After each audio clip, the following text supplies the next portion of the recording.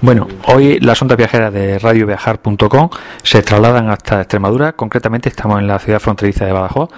Esta ciudad eh, fronteriza con Elvas, una de las ciudades más bonitas que hay en Portugal, nos va a permitir mm, conversar aquí en Badajoz con José Luis Alcarza, que es empresario del mundo del turismo y además propietario de los apartoteles Alcarza. Y en la actualidad es el presidente de CETES, Confederación de Empresarios del Turismo de Extremadura. Eh, José Luis, eh, lo primero, buenas tardes y gracias por atender estos micrófonos viajeros. Y me gustaría que nos qué es CETES. Sí, buenas tardes. CETES es la confederación empresarial que agrupa el turismo de, de toda la región de Extremadura es una, por tanto, una organización donde nos eh, reunimos, donde nos juntamos, donde nos asociamos, por tanto, todos los empresarios activos de, de la hostelería, de la hotelería, de las actividades complementarias de ocio eh, enfocadas al turismo. Y, bueno, y a partir de ahí, pues eh, ese programa asociativo anual que es el defendernos contra eh, cualquier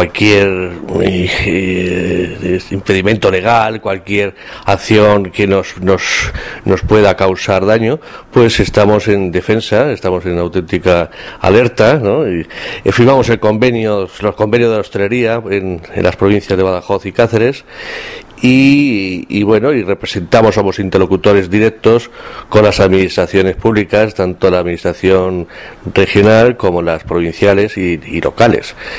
Eh, bueno, la confederación es un, es una, un ámbito regional donde estamos más de 500 empresas y yo tengo el honor de presidirlo de hace ya seis años con un buen equipo de gestión y donde nos,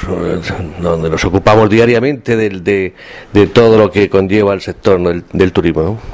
Y bueno, ahora te voy a preguntar de una de las cosas que más sabes, que es el turismo en Extremadura, y me gustaría que me comentaras cómo ves el futuro del turismo, si se ven ya brotes verdes, cómo ves todo el tema del turismo rural, del turismo de negocio, de las visitas a Extremadura, eh, turismo religioso, cómo ves turismo en Extremadura, si va creciendo, si no crece, se mantiene como otro sitio, tú me dirás.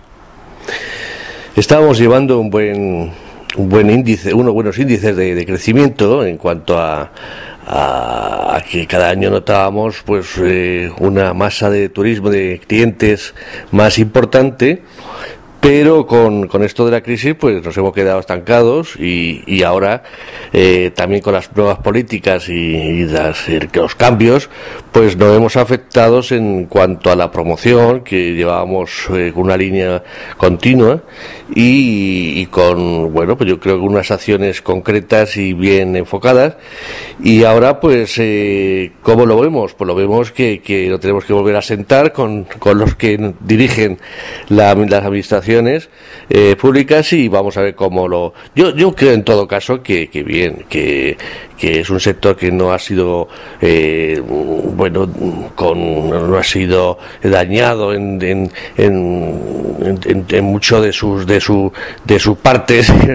por el tema de la crisis sino que bueno que ha sido eh, leve el asunto y yo creo que, que vamos a salir despacio pero al final de Extremadura pues con los recursos que tiene eh, sobre todo enfocando siempre el, turismo interior de naturaleza y, y, y con la gastronomía como bandera, yo pienso que vamos a salir eh, inmediatamente. Bueno, pues yo quiero agradecerte estar aquí en esta onda porque sé que de esto sabes mucho, que has participado mucho en tema de turismo ornitológico, de embalses, en tema de congresos, has participado en la realización, has llevado directamente a la dirección del Congreso de Turismo de Extremadura y nuevamente pues agradecerte que atendernos a estas ondas viajeras. Agradeceros a vosotros que estéis ahí y, y estéis con el sector día a día, que es importantísimo para todos.